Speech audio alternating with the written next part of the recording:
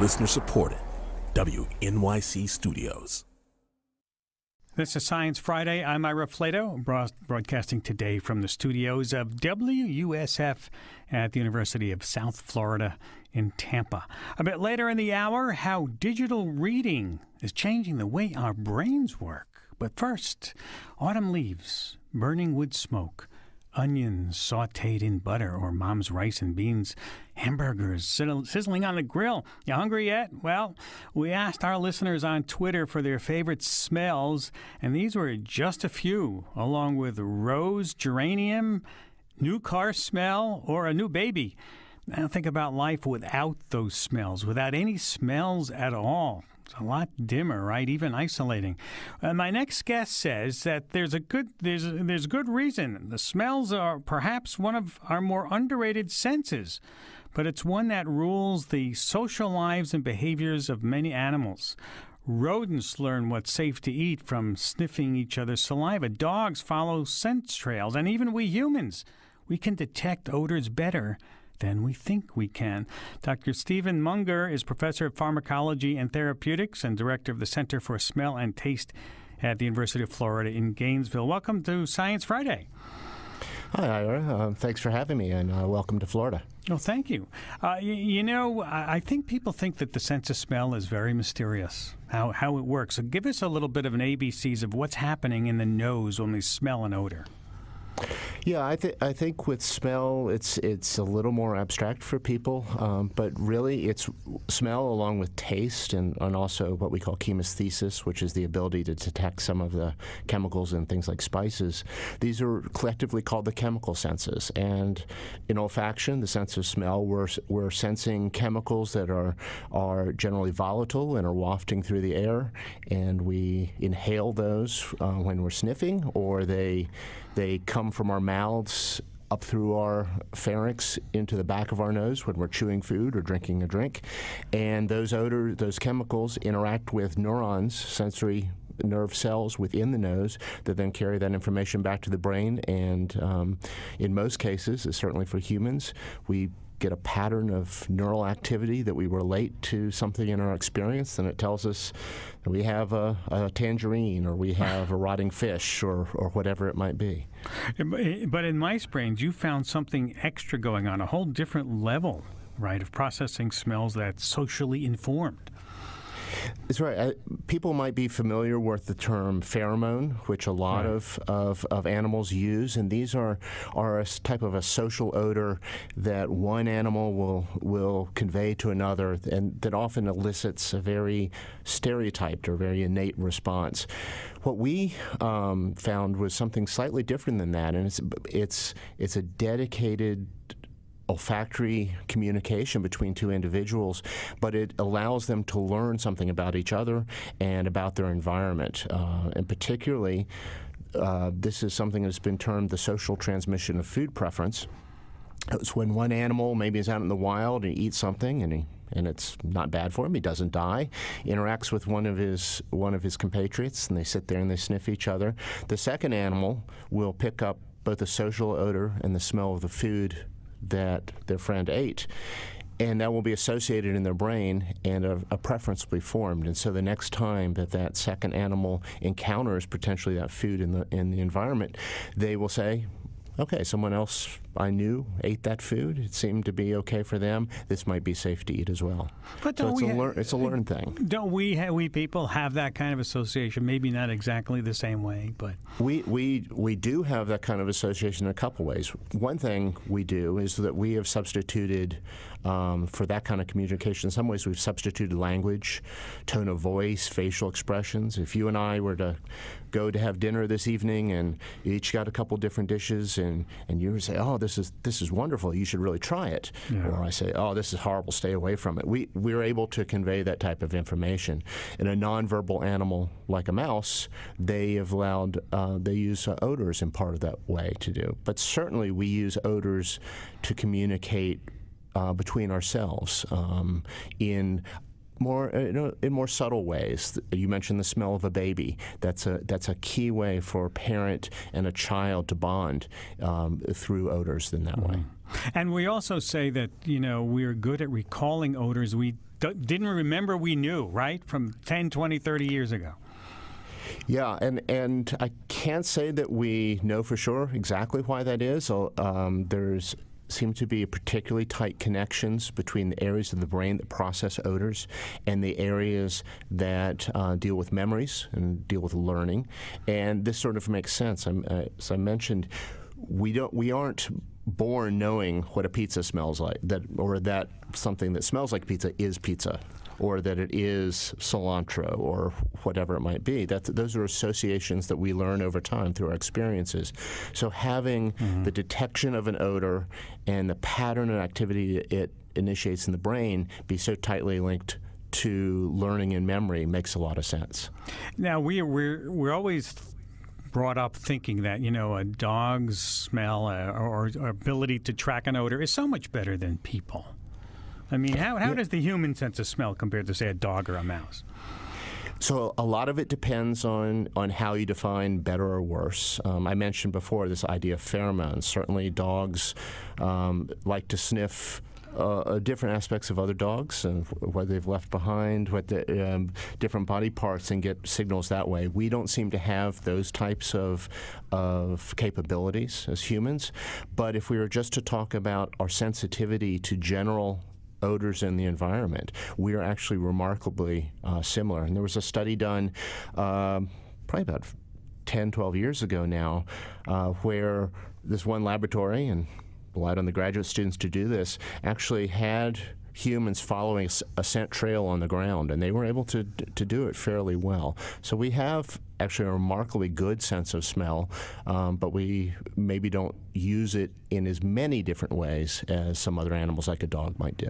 That's it. So we do have a powerful sense. You also work on treating smell disorders. What are those and how common are they? They are actually surprisingly common. The, the estimations um, can vary depending on the age. I mean, if we were to look at the elderly, the majority of people over about the age of 75 have a significant impairment in their sense of smell. Uh, if we were to look at a broader population in, in the U.S., probably about 30 million people have a significant smell impairment. And there are different types. There are what we call anosmia, which is the complete absence of smell. Hyposmia is lowered smell. Parosmia is distorted smell, where you might you smell a flower and it smells like burning rubber and and people mm-hmm. even have smell phantoms where there's no odor there, but you think that there is, and these not only affect what we might think immediately, the way we perceive our food um, and and drink, and the decisions we make about what we might want to eat, because because smell c- contributes so much to the flavor perception of our mm-hmm. food, but it it really connects us to our environment, and the people who have an absence of a sense of smell often report that they feel isolated from each other and they feel isolated from their environment, and certainly um, they don't have that same picture of the world. We just had a conference, this is where I'm flying back from right now, um, in Philadelphia, where our Center for Smell and Taste, um, collaborating with two other research centers from around the country, uh, put together a conference to try to investigate the best new strategies for developing therapies for individuals with smell disorders, and, and that meeting included patients. So we were able to hear mm-hmm. from them their concerns and um, and what would be most valuable to them. If you have a smell disorder, is it something that originates in your nose sensors being faulty, or something in the brain? They, they could be they could be either. So smell disorders, um, if we just think about the most straightforward one, anosmia, the the absence of a sense of smell, that can result from head trauma that could damage either the brain or the the smell nerve that is the olfactory nerve that is going from the nose to the brain. Um, people can lose their sense of smell after inhaling toxins, like in some industrial contexts. Uh, certain bad, uh, someone can lose their sense of smell after having really bad cold if the if those cells are damaged. But there are also congenital smell uh, absence where people are born because of yeah. a genetic mutation or something else. So there are a variety of causes, and it can be peripheral or in the central nervous system. You know, we always hear that uh, if you have a cold or, or you can't smell it, it really affects how you taste food also. How much of the flavor of food comes from my tongue? How much comes from my nose? Yeah, you you typically hear the number eighty percent of of flavor is is smell, and that that number it maybe is a little arbitrary, but certainly a vast majority of what you think of as is what most people would describe as the taste of food really is the smell of food, and it's the smells, the odors that are coming from the food in your mouth, going back up through uh, your pharynx to your nose. If you've you know you're drinking. A, you remember as a kid, you're drinking a glass of milk, and, and someone tells a joke, and the milk yeah. comes out your comes yeah. out your nose. Yeah, it's because it's all connected, and the, those odors um, are. If you don't have that, you're really restricted to sweet, salty, bitter. Uh, right. sour and umami, the savory taste. And, can, can, um, can people lose their smell and regain it later in life? Something happens?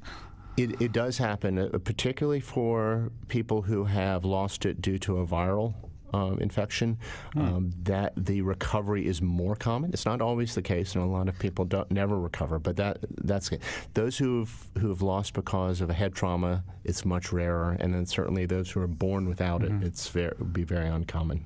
And what would you, as a scientist, like to know more about smell? What's what's your burning question? Oh, there there's a lot. It, I think one of the things that we discussed at, at this conference that sets smell and taste apart from some of the other senses is just the um, our understanding of how to measure the loss. You asked about. Mm. Does it happen in the nose? Does it happen yeah. in the brain?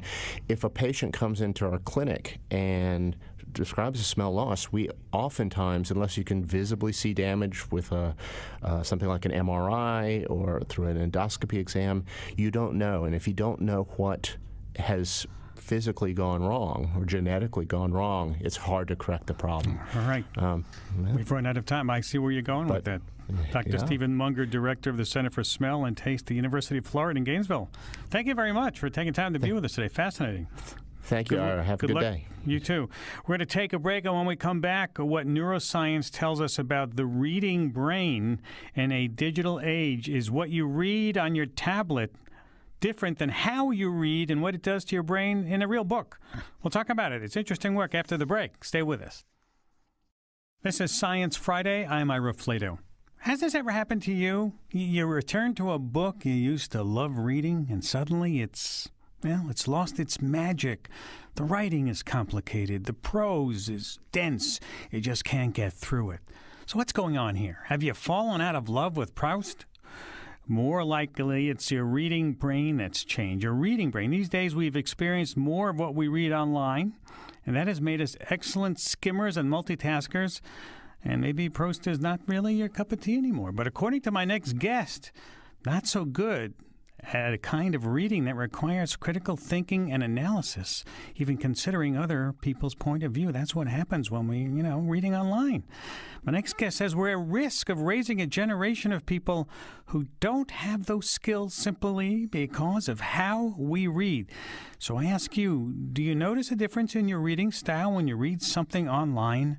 Versus in print. Give us a call. Our number 844 724 8255.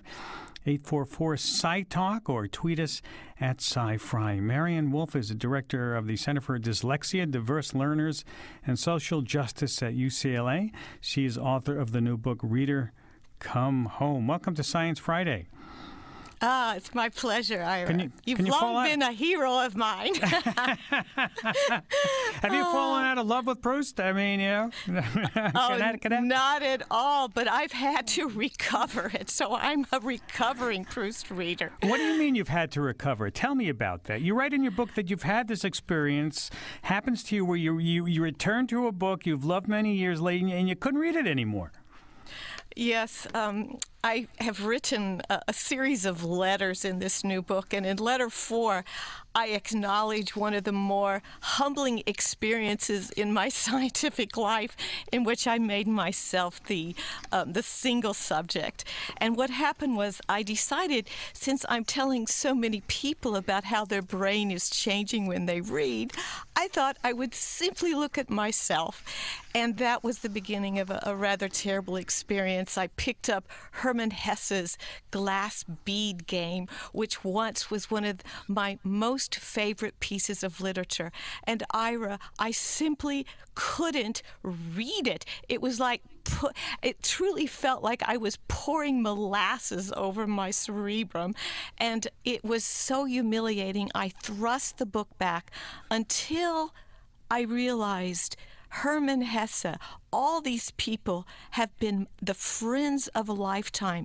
They have made me who I am. And so I determined to go back and read uh, but very differently, just read 20 minutes a day. And Ira, it took 10 days for me to return to that mode of reading in which I could immerse myself and not be distracted by syntactic density or length or even the complexity of the arguments there. But it took a good, a good 10 days to, to return home, if you will. And, and, and you attribute that to, to the fact that you, you were doing more reading online versus um, reading in a, in a book? I mean, uh, that's sort of one of the theses of your of your book yes, is that yes. are, we are wrecking our reading habits and wrecking a lot of other stuff because we're reading online now instead of reading from a paper. Well, it begins uh, with a statement, and it's very important that your listeners and my readers understand that I'm not making a binary argument. I am saying, however, that because the reading brain is plastic, you know, we never were meant to read. We had to form this beautiful new circuit. But because it's plastic, it reflects things like the writing system. A Chinese reader is different from an English alphabet reader, but it also reflects the medium. So the dominant medium is going to be reflected in the style of reading even when you're not reading on the screen, it will affect you uh, as you read print. And there are good reasons for that. Quite literally, our circuit is um, it's like a mirror held to the processes needed by any medium. So if a print medium is giving us precious, though imperceptible time to allocate milliseconds to inference, the, the scientific method processes, critical analysis, immersion. That's that's the advantage of print that we think will be just continuous no matter how we read elsewhere, but it's not the case. The, the advantages of the screen, which are hastening us along, multitasking, being ready for the next novel experience, that ends up making us skimmers. And skimmers literally skim what I call the deep reading processes that involve critical analysis and empathy and even insight. And you say all those, uh, that, that whole idea about skimming, and because we're yes. not doing critical analysis and insight, you say that's actually a threat to, to democracy. It was the last thing in the world that, as a cognitive neuroscientist, I would be thinking I'm actually confronting implications for democracy. But the reality is that one of the most precious aspects of deep reading is that we give time to inference, we give time to critically analyze and evaluate the truth of what we're reading. And also, and this is often neglected in understanding reading, reading gives us an opportunity to engage our feelings of empathy and also our engagement with alternative viewpoints.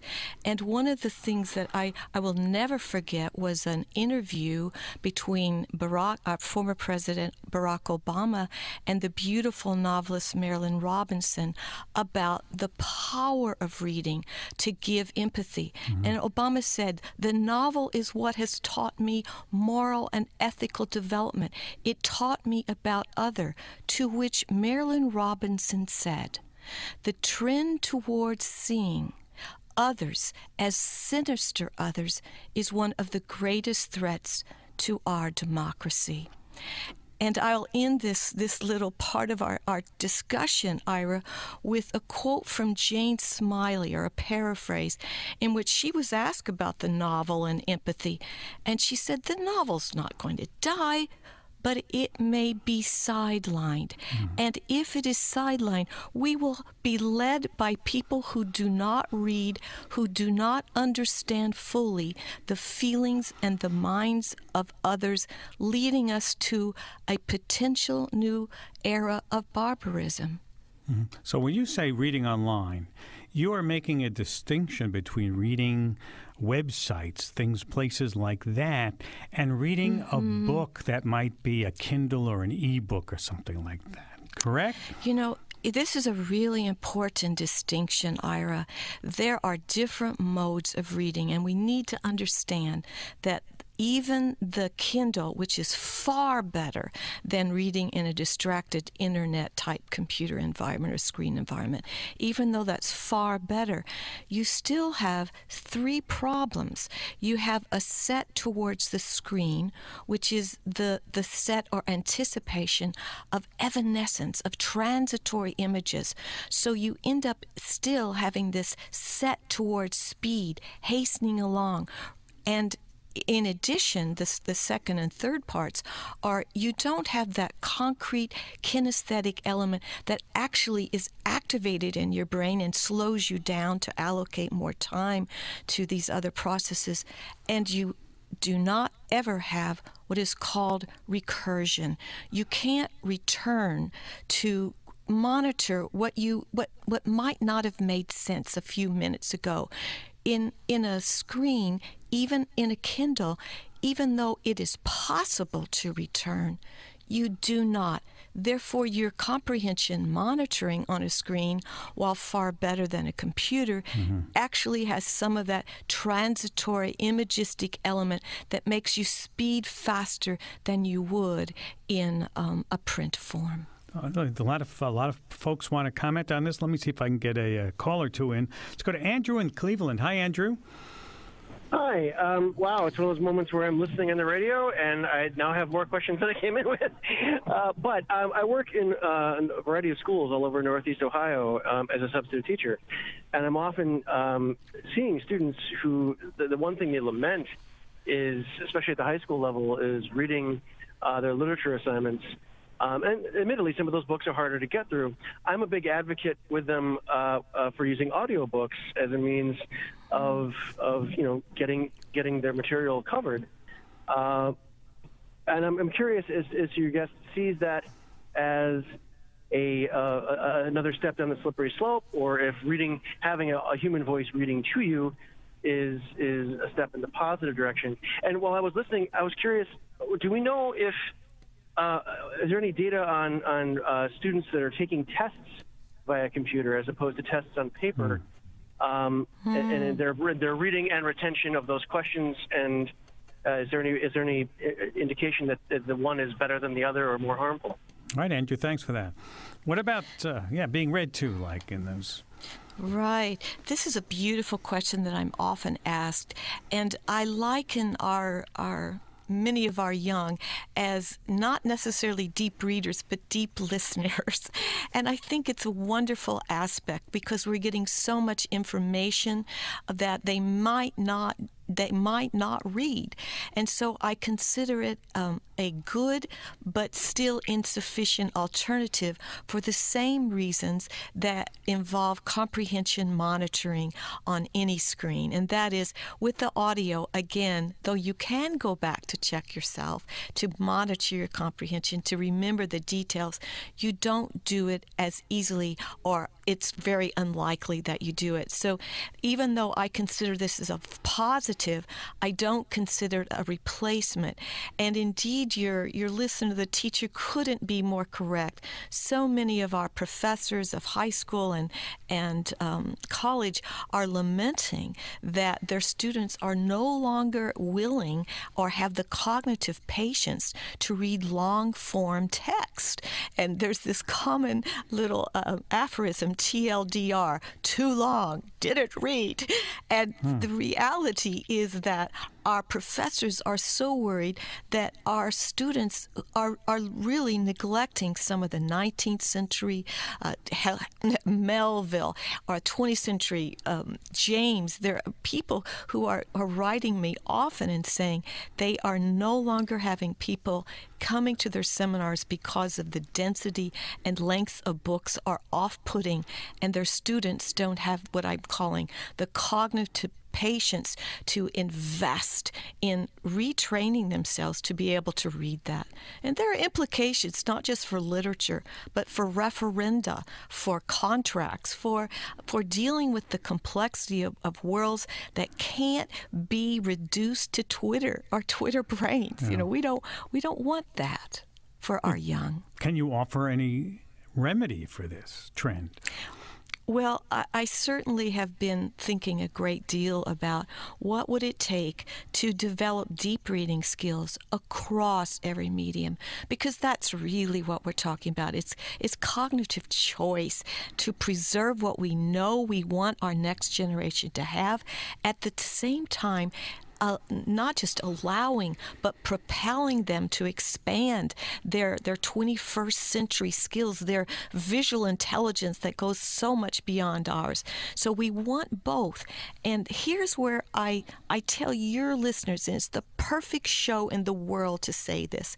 It is a hinge moment in which knowledge from science needs to be yoked with the designs from technology to be able to read address this and to create children who are really capable of biliterate and bi-digital brains that have equal skills.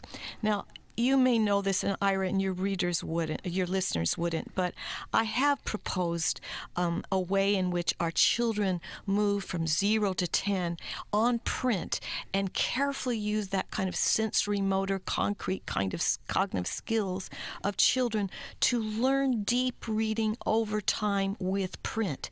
And then have our teachers explicitly trained to teach deep reading skills on the screen so that it's not this willy nilly assumption that you read the same on each mode, but rather mm-hmm. t- students are trained to ask, What is the purpose? What am I better at? Students don't know okay. what they're better at. I, have, I, I, better get a break in here. This is Science Friday from WNYC Studios. Uh, so I sorry, yeah, we have to. We have to I know, Ira. This is so funny. but but uh, it's an interesting point. So you're saying that we could have it, you know, a dual, bilateral brain, as as you yes. call it. You could teach them how yes. to read in print, and then morph them over, move them over into to take the same skills with them when they read online. Absolutely, and, and that's but what you're saying. Yes. Yeah, but simultaneously, I want them developing, uh, at least from five years on, the coding and programming skills. These are essential, and they give some of the same deep reading cognitive skills that comes from print reading. I want those to come together. It's not either or. Hmm. And but you would have to retrain teachers to know how to do this, correct? Uh, yes, yes. And there's really wonderful work in uh, Europe and Israel and and the beginnings here that we must have our teachers literally learn how to to use the best of technology and the best of print so, and the, we really need a whole generation of, of fresh professional development on this. So do, can, can parents do anything while they wait for the teachers? Oh, yes. Get... Oh, yes. And parents have to actually be a, a good part of the story because it begins at zero and zero to two when a lot of parents are believing that the bells and whistles are good for their kids when they're in fact not as good as they are in, in enriching language development. So before two, I want very little screen time for the kids and never use it as a pacifier, the iPad as pacifier or as a caretaker, but mm. to use it mindfully. Catherine Steiner-Adair is a clinical psychologist who talks a lot about how we need to think about guidelines. Oh, also the American Academy of Pediatricians, Barry Zuckerman, uh, Zuck, all of these people are really telling us how important it is to read and talk to our children in zero to five mm. with only a gradual use of digital technology during that time. You can read more about this in uh, Maryanne Wolf's uh, really interesting book, Reader Come Home. You can check out an excerpt of her book on our website, sciencefriday.com slash reader. Thank you, Maryanne, for taking time. It's fascinating conversation. Good luck to you. Absolutely for me. Thank you, Ira. We're going to take a break. When we come back, it's Team Bat versus Team Dolphin in a battle for sonar superiority. Which one do you like better, Bat or Dolphin? We'll have a smackdown after the break. Stay with us. This is Science Friday. I'm Ira Flatow. So, are you Team Bat or Team Dolphin? Of course, you don't know what I'm talking about yet. Here's the deal.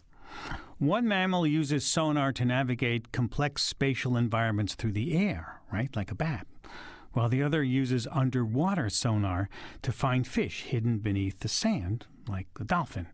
But whose sonar is superior, bat or dolphin? Well, earlier this month at the Acoustical Society of America conference, two groups of scientists argued the finer points of each one's echolocation excellence. One sided with Team Dolphin, one sided with Team Bat. Things got pretty heated. Words were exchanged. And so we thought we know how to settle this with a good old fashioned rumble on the radio. And so I bring you Science Friday's Sonar Smackdown. In this corner, representing Team Dolphin, we have Brian Branstetter. He's a research scientist with the National Marine Mammal Foundation in San Diego. Welcome to Science Friday. Uh, hi, thanks. Glad to be here. this corner representing Team Bat, we have Laura Kloepper, assistant professor at St. Mary's College in South Bend. Welcome back to Science Friday, Dr. Kloepper. Oh, thank you very much for having me, Ira. You're welcome. And we want to, if you're listening, we, we want you to let us know on Twitter if you're Team Bat or Team Dolphin. Tweet us at SciFri, and we'll try to, to keep score. So before we begin, I want to give everybody a sample of the kinds of team sounds that we're talking about. I'm going to start off with Team Bat. I'm going to, we're going to play a little segment of team of what a bat sounds like. The kind of sounds a bat sounds like sounds like this.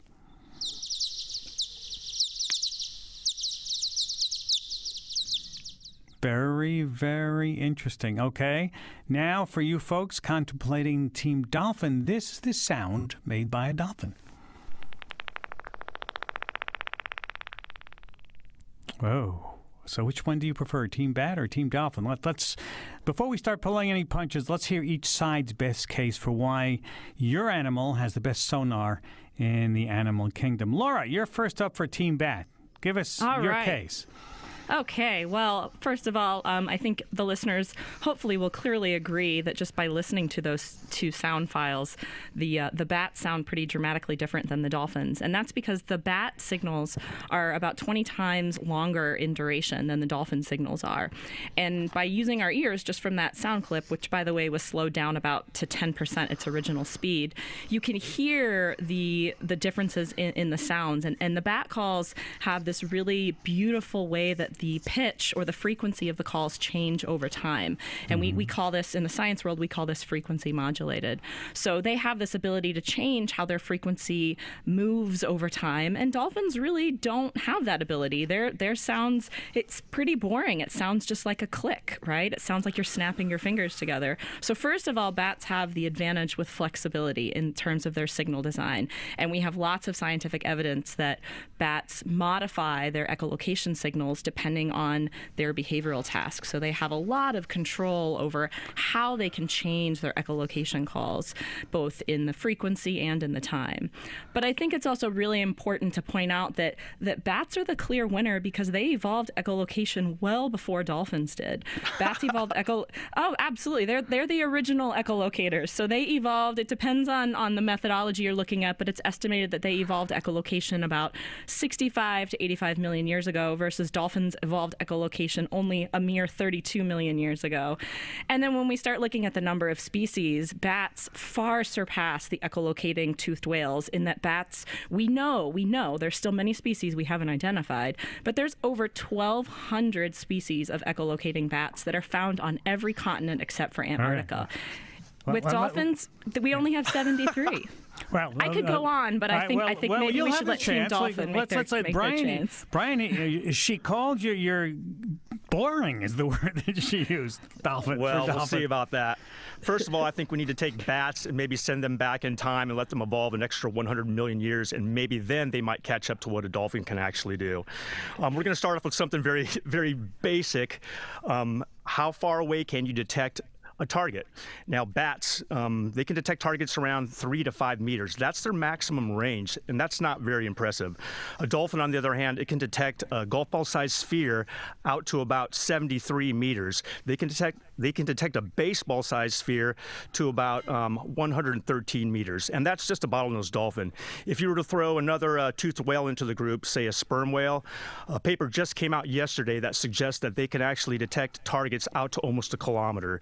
So if you want to do a quick comparison there, a bat three to five meters, a bottlenose dolphin longer than a football field, and a sperm whale almost a kilometer. Um, I think everyone's going to agree that uh, hashtag dolphin biosonar rules. And you guys can put that on your Twitter feed if you want to. Dr. Kloepper, what do you say to that?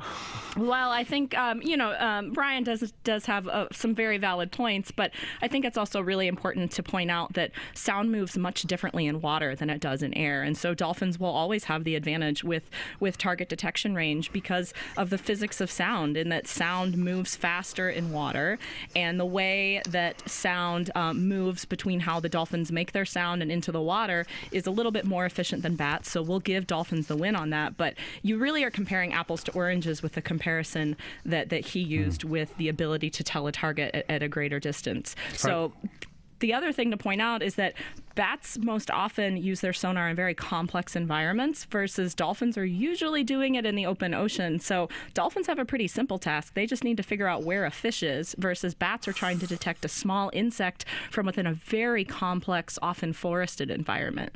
They just have to do that. How do you like that, Brian? They just have to do that. Mean, Yeah, maybe that's all they have to do, but if that was it, they wouldn't have this crazy capability to do a bunch of things that bats just can't do. One of the main ones is when a bat's echolocating on a target, it's only going to get surface features of it. The echolocation signal cannot penetrate the target. For dolphins, on the other hand, because they are in water, their echolocation signal can actually penetrate the target. So they can get a lot of information that bats can't get, such as how thick an object is, um, whether or not um, objects have different fluids inside of it. For example, a really cool experiment that was done was we have three cylinders. They're, geome- they're geometrically identical, except one has glycerin in it, one has alcohol, and one has water. Dolphins can tell the difference between these no problem. Bats cannot do that.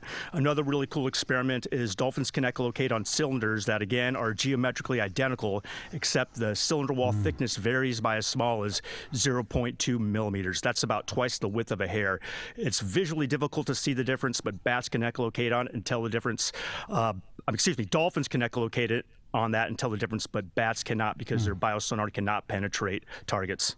Our number, if you want to phone in on this, and besides, you can tweet us. Which is which do you prefer? Which which which radar sonar do you prefer? You can tweet us at SciFri, or you can give us a call 844-724-8255 uh, is our number. Let's move on to. So far, it seems like a tight matchup. Let's move on to prey detection. How are each of these animals able to use this sonar to catch a meal? Laura, you go first.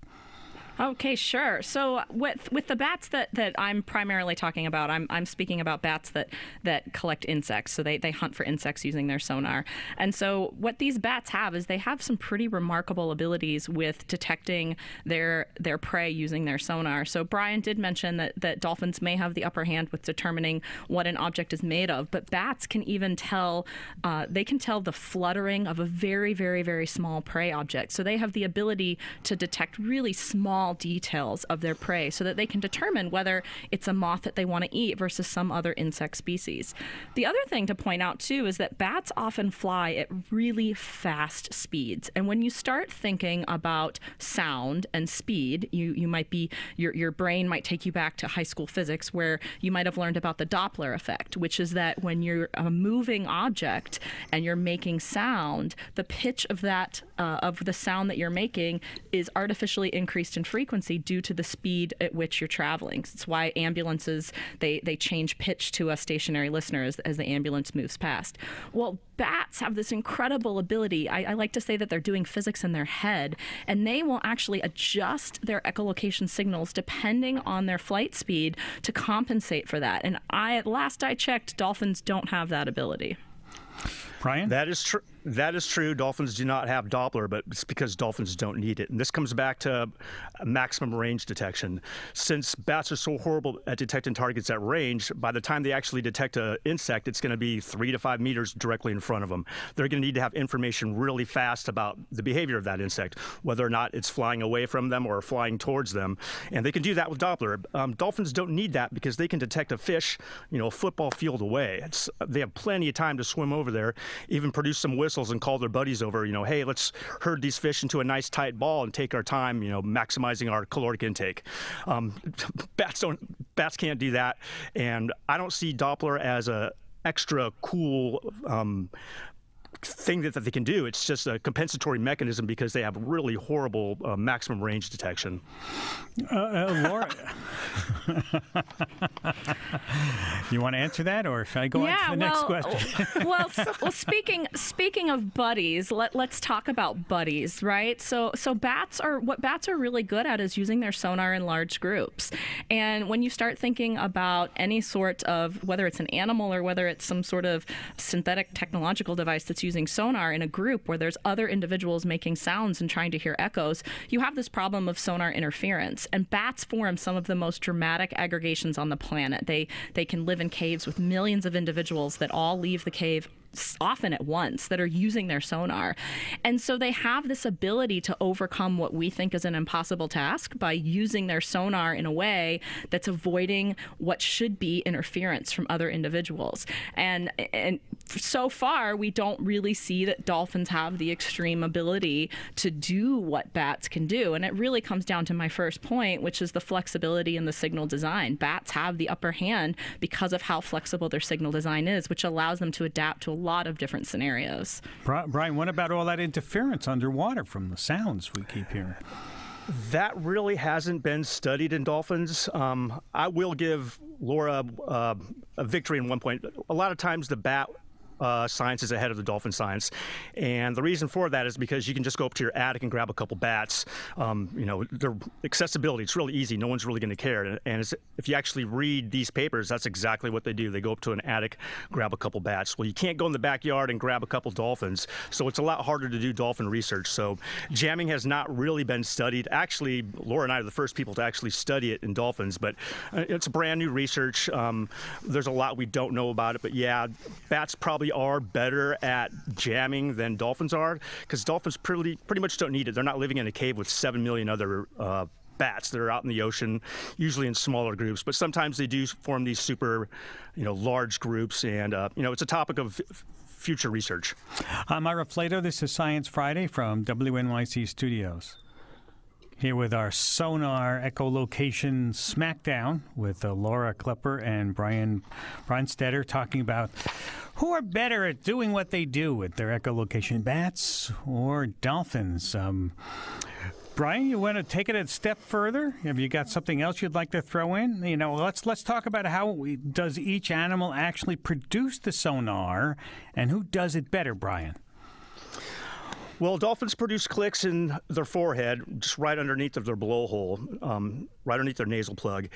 And if you look at the dolphin's skull, it's actually concave shaped, kind of like a radar dish. So it's going to reflect all that acoustic energy in the forward direction. Right in front of that, there's a lipid structure called the melon. This actually acts like an acoustic lens, which further helps focus all that acoustic energy in the forward direction. If you can imagine going out into a football field and yelling, it might not be that loud, but if you use a bullhorn and focus all that energy forward, you're going to increase the amplitude significantly. And if you look at bat, uh, echolocation signals, they're only about 100 dB loud. It's not that very loud. If you look at dolphins, on the other hand, bottlenose dolphins, their echolocation signals are about you know, above 200 decibels. If you want to talk about really loud, look at sperm whales. Their echolocation signals are around 230 decibels. I think it's the loudest animal sound on the planet. I think if it goes any louder, it starts converting water into vapor, but don't quote me on that one. I'm not exactly sure about that. it's So- really, really loud. That it's, it's loud. Now, Laura, how do how do bats make their sound? Well, Ira, bats make their sounds just like how we make our sounds. So they generate their sounds inside their larynx, and then depending on the species of bat, they either emit the sound through their mouth or through a special nasal structure, so basically through their nose. But they're generating the sounds the same way that we do. And then when they what's what's really interesting about the sound generation of bats is that they have pretty remarkable control. Again, coming back to this flexibility, the, the point I keep making over and over again, they have a lot of control over the size or the shape of their emitted sonar beam based on the size of the opening of the mouth or the size of the structure in their nose that's generating it. So, so yeah, maybe they don't make this the the loud uh, as loud of sounds as as the dolphins do, but they have much finer control over the shape of the sonar beam with the structures with the soft tissue structures that they have on their head. Garrett in uh, Greenville, Georgia. Quickly uh, get your question in before we have to go. Hi, welcome to Science Friday. Hello, thank you. I was just wondering uh, um, how much of the um, brain capacity is dedicated to echolocation in uh, the bat uh, and versus the dolphin? All right, super quick answer. How much, uh, Brian? I have no clue. That's a topic for future research. I mean, I, I think they've done more of that research with the bat, but it's Yeah. hard to, you know, it's hard to do that with dolphins. So that's a really good question, but that's a topic of future research. But I will tell you, a dolphin brain is about 1,500 grams, and a bat, the entire bat weighs about 20 grams. So we're talking about a massive brain with a dolphin, and not much going on with the bat. Okay. Oh, whoa. Cheap shot. Laura. Well, you know, Brian, size doesn't always matter. Size doesn't always matter, Ira and Brian. Okay. okay, we're going to have to leave it there. Brian Branstetter is research scientist with the National Marine Mammal Foundation in San Diego. Laura Kloepper, assistant professor at St. Mary's College in South Bend. Thank you both for being such good sports today on Science Friday. Thanks oh, for having thank you, us. Ira. we, we want to know what our listeners think. Let, let us know who you think won the match. Uh, we have a poll going on at Twitter right now at sci-fi where you can participate in the poll. BJ Leiderman composed our theme music, and a very special thanks to all the great folks here at WUSF who made us feel so welcome in their studios today, including Greg George, who was working the board for us. And if you missed any part of this program, you'd like to hear it again, subscribe to our podcast. If you have a smart speaker, ask it to play Science Friday whenever you want. So, you know, every day now is Science Friday. And of course, we're active on all social media Facebook, Twitter, Instagram, you name it. We're there. Have a great weekend. We have our special show next week, our special, you know, Thanksgiving show. The Ig Nobels will be coming up next Friday. A lot of people waiting around to hear that. You'll hear that next.